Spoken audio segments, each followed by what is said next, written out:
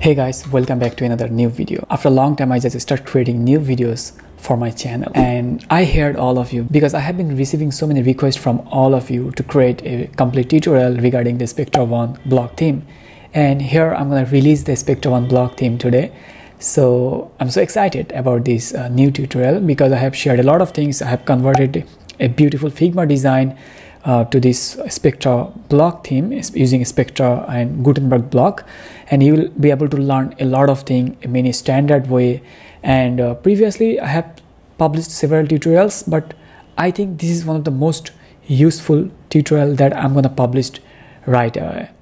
So after completing this project, you will have a, some core knowledge about the block editor and also uh, how to use transparent header and also how to use uh, sticky header how to uh, activate uh, the scroll to top button while using the Spectra One theme and how to use the global color. Global color and global typography is very, very useful because let's say you have more than 300 pages or 30 pages um, or 15 pages, that's totally fine. But when you're using global color and typography, it will uh, save a lot of time to not customize the typography and color on individual pages.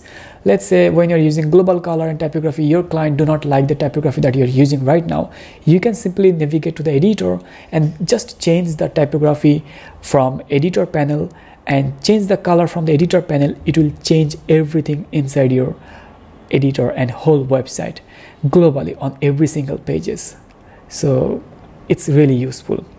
And also uh, I'll be sharing with you the grid builder from Spectra because when I published Spectra complete tutorial previously uh, there wasn't grid builder. They haven't introduced the grid builder at that moment.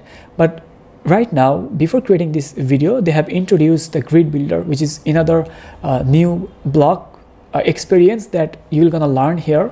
And uh, besides that there are several complex layout that I'm to show you when uh, creating this project. The layout will help you to uh, speed up the process, uh, to boost your knowledge regarding the Spectra and Gutenberg as well. And lastly, there is a form here.